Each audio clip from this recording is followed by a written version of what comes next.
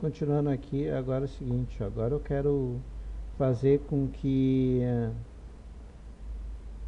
vou pegar aqui quando eu gravar uma situação aqui que no lado apareça o que foi atendido. Eu vou entrar em gravar. Então aqui eu vou primeiro pegar esse contato movimento. Pegar todos aqui Bom, vamos lá.